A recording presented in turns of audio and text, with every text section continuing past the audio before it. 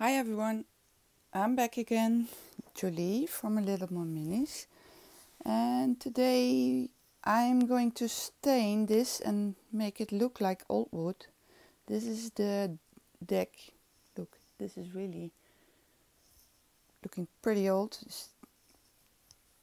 This not so much, but it was two different ways of working with the solution that I made which is in this pot and I have a oh, small video of that too how I made this. It is really nasty stuff so you really have to be careful. It stains pretty much everything not just wood. So be careful that's why I wear gloves old clothes. And I put this underneath my surface because this is gonna be like I don't know how it will come out. Anyhow this is the side that the fairy treehouse will rest on. It's the bottom plate, the deck I call it. And this is the underneath where you, the underside. So these are the supplies that you need to create the effect that you saw before. First you're going to put on your gloves because just I don't like uh, structure of steel wool. If I touch it, I get goosebumps from it, and it can get a little bit messy too. And then you take the scissors and cut off a piece of the steel wool that fits in your jar. I can advise you to put some paper underneath, which I didn't, but it's easier to clean up after because you get all these small particles of steel on your surface. So, just a little tip. Then open the jar, of course, and tear up the steel wool, and you will see later why I do that before you put it in the jar. And after you tear it up, you can put it in the jar. I'm sorry about all the noises around me, but it's very windy in Greece and warm, and I have to work with the windows open. So you hear some house noises and outside noises. well, that's life. And then uh, you're going to put the vinegar in after this. You can also use a different kind of vinegar. You can use balsamico vinegar or apple vinegar. It just gives a different effect than the one that I use. I use the white vinegar. And don't put so much as I did because it will get over the jar, which it did in my case. So a little bit less is better. And then you're gonna add one tablespoon of salt, coarse salt, before you're gonna close the lid. I didn't do that on this video. I did it, try that the next day. And then put on the lid, not too tight, and leave it for 24 hours. And then we're gonna go to the next stage. So the next day I took an old colander and some old t-shirt and I drained the solution with uh, steel wool in an old bowl and I just took the steel wool and left the vinegar solution. I put it back in the jar later. Put on gloves again. and you can see it's all uh, like rusty. And then I'm tearing it up again and this is why it's easier to do it in the beginning I think. And I spread it over the deck but I had really not so much. It's eating up all the iron. So I had the, to do this a couple of times. So I can advise you to take some extra when you make this solution and then I put another piece of baking paper so it didn't collide to the to any other paper or stuff and put that over it.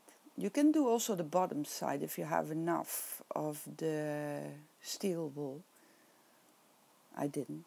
And then I put something heavy on top of it and left it for 24 hours again to soak in.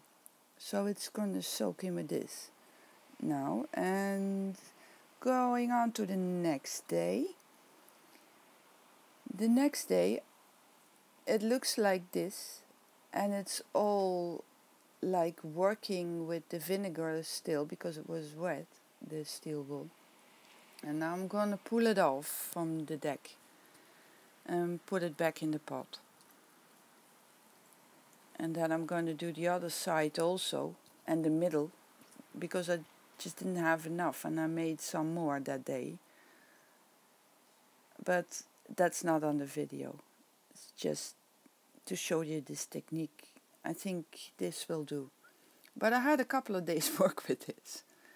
So here I'm pulling it off and putting it back in the jar.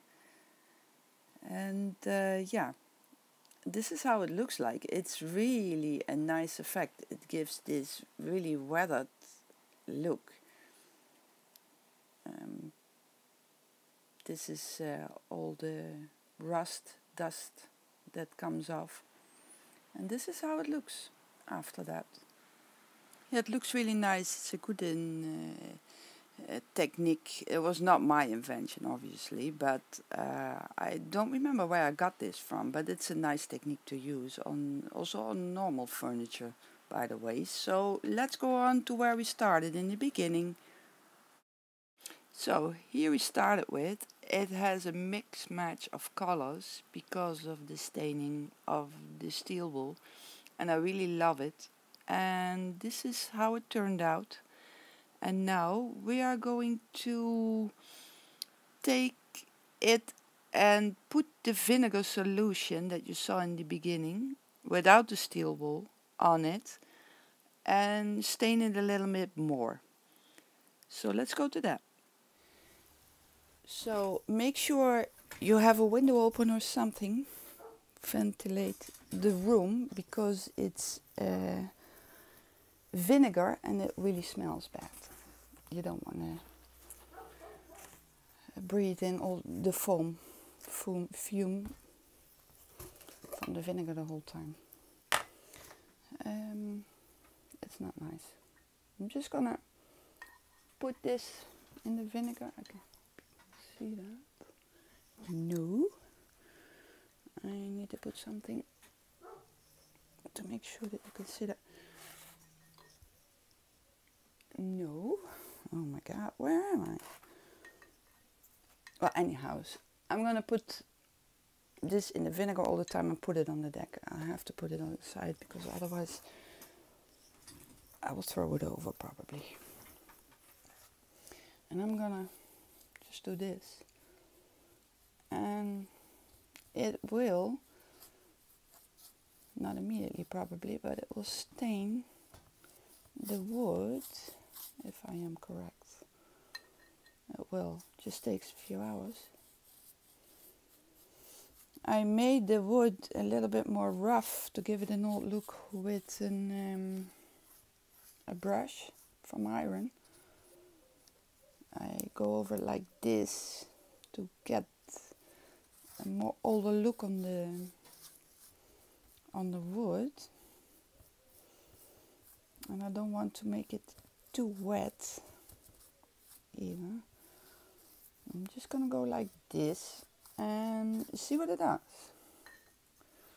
not too wet just like painting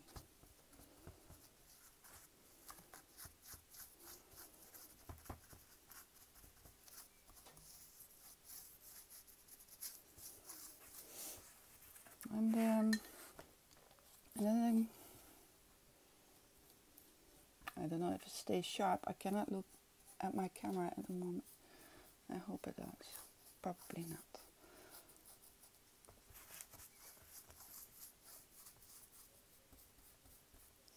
And I want to create a worn look with this.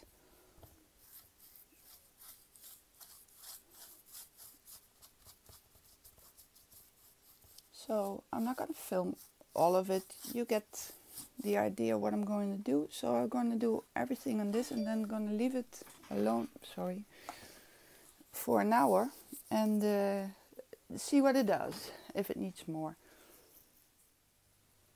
So now I am about one and a half hour later and look how it's coloring darker it still needs time, I think.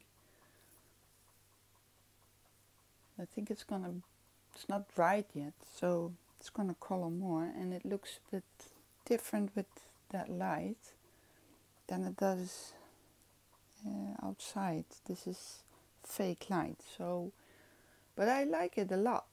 It's, yeah, it's looking good. Let's see if I can zoom in. Yeah, it really looks like weathered old wood. The house is going to be on this spot, so you're not going to see this eventually. What I also did, wait, let me show you, is some sticks. I stained some sticks. You see? Does it get sharp on there? No, it doesn't. Oh, just a moment. I'm going to put something on it. So it does. Still doesn't. These are the same sticks. And I think depending on the wood that you use, this I did two or three times, I don't remember even. Oh. And this one I just one time. So it depends on what you do, how much you want to stain it. Give it this look. But I really like that look. It's like weathered wood. You still can see the wood on it. The wood is still visible. It's not like when you paint it, most of the times you don't see the wood anymore. And this it does. So I like it. And now I'm going to do the other side. You have to be careful though. Oh yeah, and this one I stained too. It's, it's skewer. I put it. I just put it in the solution in the pot. And what I, oh yes, this is what I wanted to say. This was a, a fence already made. I didn't make it. I don't know which glue they used, but you can still see hmm, that it doesn't stain this particular glue. Don't know which glue it was because I didn't make it. So I had it in my stash. I don't know where it came from, but I just wanted to give it a try, see what what it turned up. And now I want to show you this. This is funny little looking birdhouse that I made. I did make this. Give me some light. More light. No more light. Yeah. Well, it's a funny looking birdhouse. It's just an imagination thing just did something. Turned out nice. And this is uh, a towel, piece of an old towel. And I'm gonna try to give this the same um, solution. And I'm curious what will happen with the, with the towel. See what will happen to that one. Hope you can see this. It's a small birdhouse. Funny thing, but I like it. So I'll give this a stain and I'll show you later. So now I waited about a day. It completely dried and I like the look of it. It's really what I expected to do like it looks like it's been weathered for a long time and I'm gonna um, dry brush it a little bit with white so it has more accents to the wood. It pops it up. This is how the birdhouse turned out. Hope you can see that it turned out nice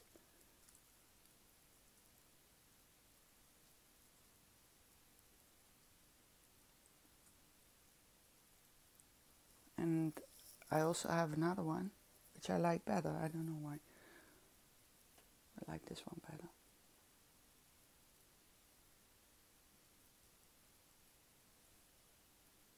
Don't know if it's sharp, I hope so.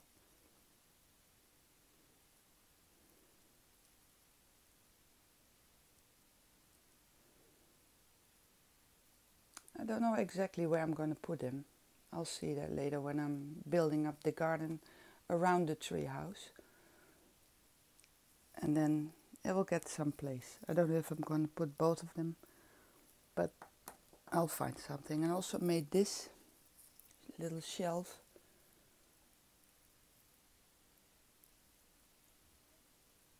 Come on. Can you see that? I hope, oh, I hope so. this is also from the stained wood. Whoops. So clumsy. I don't know if I'm gonna use it for this project or for another one. I just was in a, in a mood to make this. So this one is not stained or painted yet. I'm gonna do that later. Probably gonna use it in another project. But I really like them. They're always, you can use them in any project. Maybe I'm gonna put some photographs the next time on my blog so you can see how I make those. It's very easy. Well, I put up some white paint. It's just cheap white acrylic paint.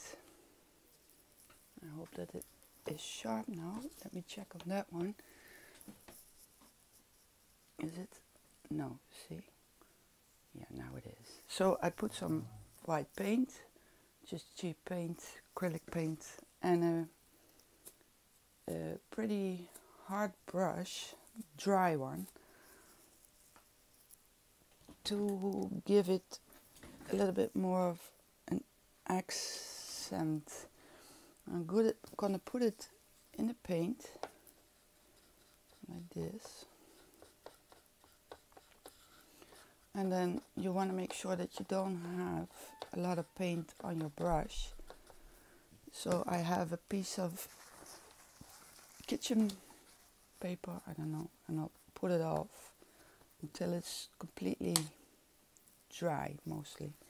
And then I'm gonna brush on it just like this.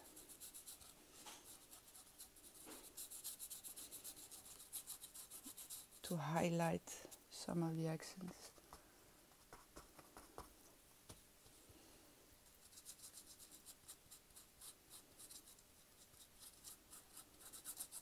It's called dry brushing technique.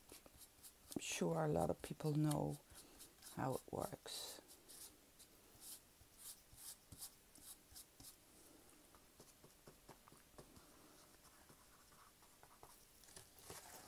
So what you do is make sure your brush is dry as possible because otherwise you will paint it white and that's not what we want.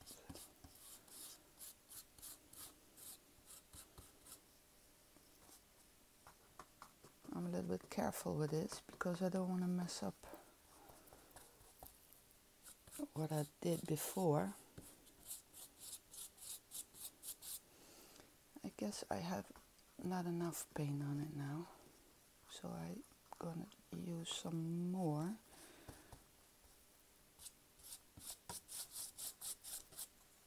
That's not a good idea, as you can see.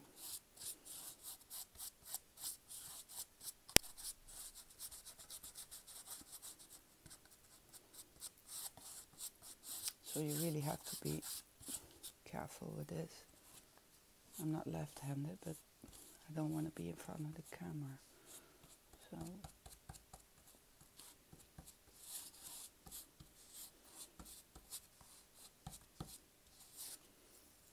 hmm, I don't know.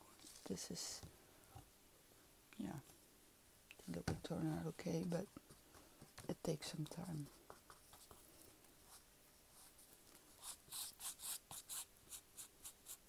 Let me put that away before that gets white too.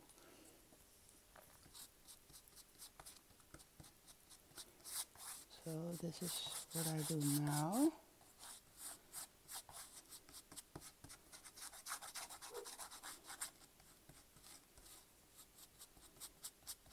Put in some more detail.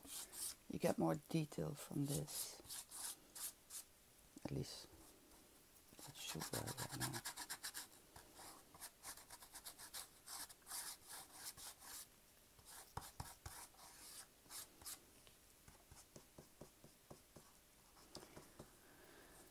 Oh.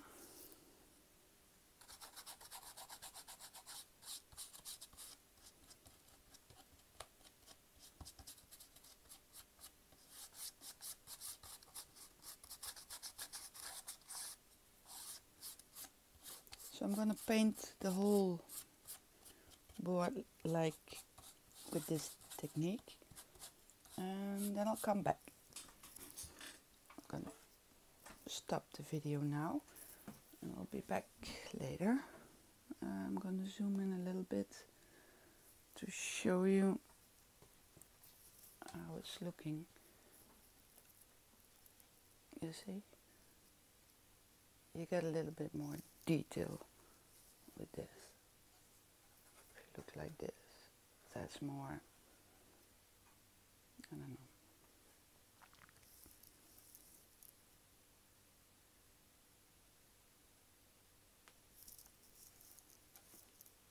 That's what you want to do. So, later you see how the details come out now like here.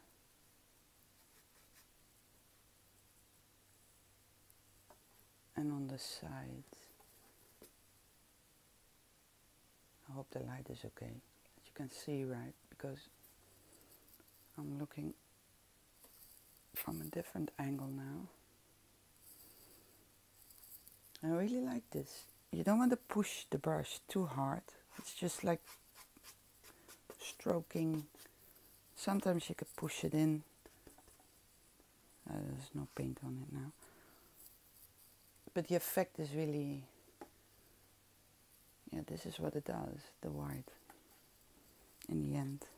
Because this is how it was. The other side.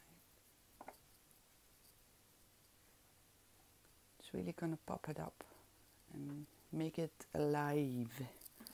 It's alive. so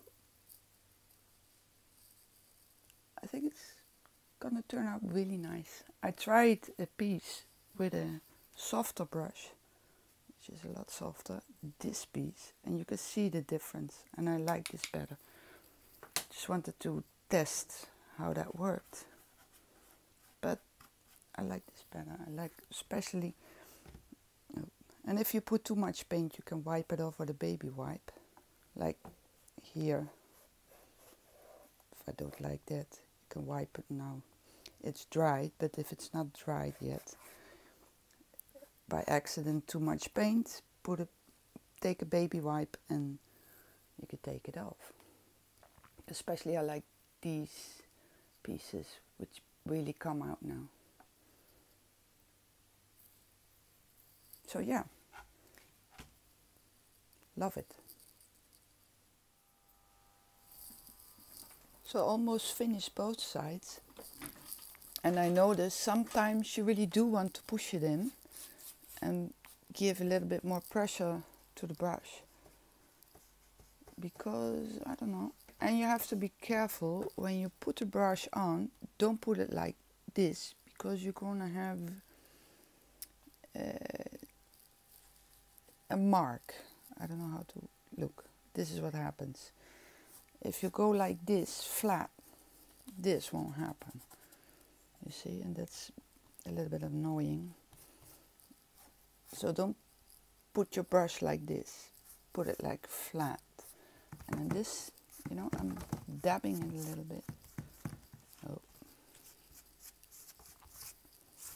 And if it's too much, you can do this or like I told before, take a wipe wipe it away. If you think it's too much white, take a baby wipe and take it off. That works. And if it's like here too white, I just go with my fingers and dab it in, and that works. And then I go. Now I'm pushing it more because it doesn't have a lot of paint on the brush, so I can really push my brush.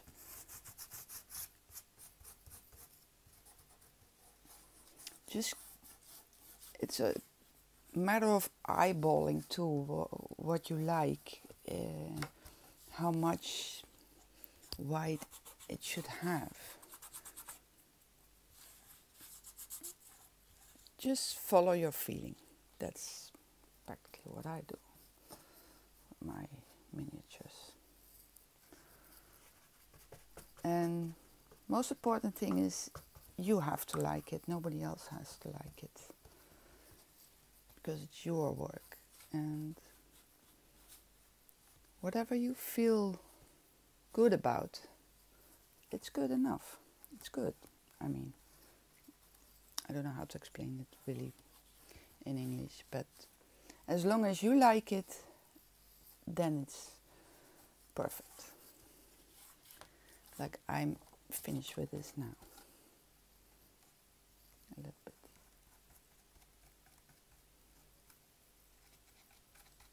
I'm dabbing it on this because it's wood filler and no it's not wood it's silicone.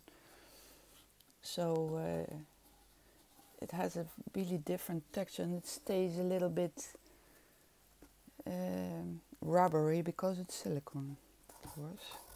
This is not the deck from above. This is the it's going to be like this think, oh my god, this is not what I wanted. It's probably on the table. I don't know which side I prefer yet. I will see when I'm gonna put a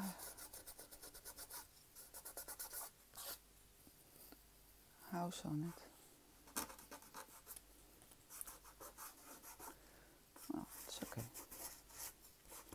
I don't want it to be too white, you know, and that's why I'm going over it with my fingers because they're dirty from holding the wood. I think I will give it a finish with matte, not glossy, varnish coat to protect it more when it's completely dried. So I'm going to leave it now. Let's check all the sides. Yeah, I think it's okay. This one, see, because of the putty, it doesn't really look like. So I'm probably going to put this one on the back side. I don't like this side so much, but I do like this. This looks good. Probably it's gonna be oh I'm sorry. Something like this or like this. I don't know yet. We'll see when I put a house on it tree house on it. For now this is finished and I really like it. I'm gonna see if I can give you a close-up it sharp? Yeah, it is, it is sharp. I really love it. Turned out really nice. Yeah. Turned out nice. I love it. Yeah.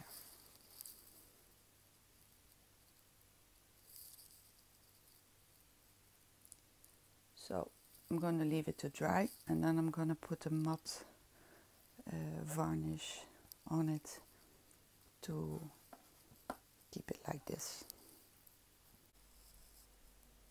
So I'm back again and this is about a week later, maybe even more. and the deck looks really nice but about it is for me too much caramelly colored. It's not really dark brown like my tree houses. You can see that? So it turned out that after a week it's getting more lighter than it was in the beginning and now I don't like it that much anymore. So if you want to use this technique please remind this. It will turn out lighter eventually as it did at my deck and it really with this light it doesn't even look like real thing you know it's more like it's how the light falls it's more like this. So I'm gonna give it another wash with a mixture of dark brown and black and a lot of water. And then again I'm going to dry brush it a little bit with white because I think I'm gonna be sorry if I put a deck like this on top. It's not I eventually I'm sorry. Eventually it's not exactly the color I was aiming for. So yeah if you like this color go ahead be my guest and I hope you like the tutorial but for this project the color didn't turn out the way I wanted it. After a week I'm glad I didn't put the deck on the tree stump yet so I'm still able to give it another wash. And that's what I'm going to do. So I'll be back. Bye bye